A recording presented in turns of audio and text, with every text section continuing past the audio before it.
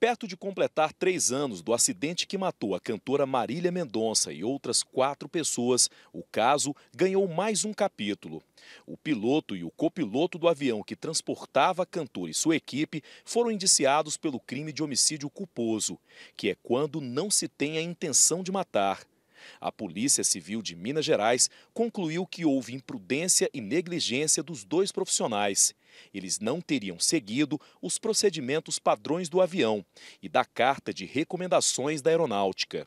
Como os dois indiciados, piloto e copiloto, também morreram no acidente, o inquérito agora é encaminhado à Justiça com a recomendação de arquivamento. Nesse caso, há a extinção de punibilidade e o caso é encerrado.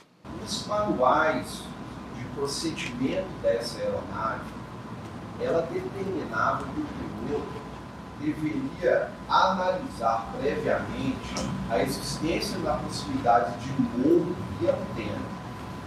Então, era um dever de quem comandava a aeronave ter feito essa análise prévia. O acidente aconteceu no dia 5 de novembro de 2021, perto de Caratinga, em Minas Gerais. Marília Mendonça tinha um show na cidade e se apresentaria pela segunda vez em Caratinga. Na queda, além da cantora, do piloto Geraldo Martins de Medeiros Júnior e do copiloto Tarcísio Pessoa Viana, também morreram o tio e assessor de Marília, Abiciele Silveira Dias Filho e o produtor Henrique Ribeiro. Segundo a ANAC, o avião estava em situação regular. Ele foi fretado pela cantora para o transporte dela e da equipe para esse show em Caratinga. Marília Mendonça vendeu o avião que tinha durante a pandemia e desde então era comum fretar aeronaves para fazer shows por todo o Brasil. Segundo a Polícia Civil de Minas, durante o trabalho de investigação que envolveu vários órgãos, foram descartadas as hipóteses de falha mecânica e também de que o piloto e copiloto tenham passado mal.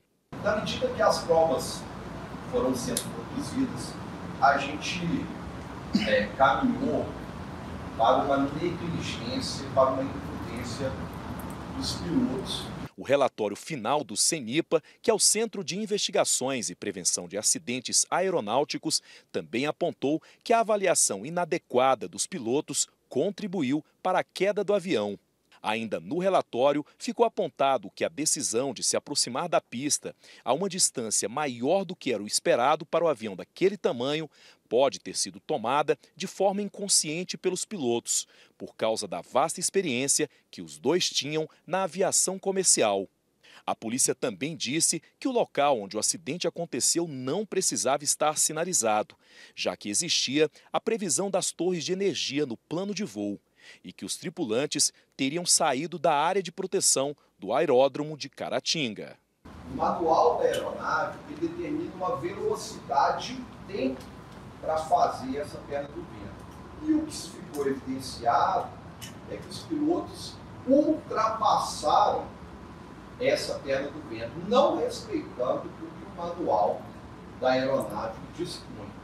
E aí, ao sair, ao, ao ultrapassar, eles saíram da zona de proteção do aeródromo e aí qualquer responsabilidade de antena, de morro, de qualquer obstáculo, cabia aos pilotos observar.